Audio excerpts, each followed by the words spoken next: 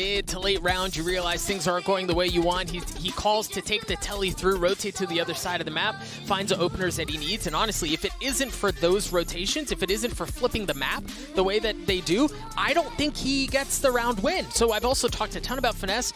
Marved is another one who's been out of his mind. Yeah, no, in in the clip as well, it was a, an ace coming out from Marv. Like he's had an incredible series overall. What a time for this man to come alive, and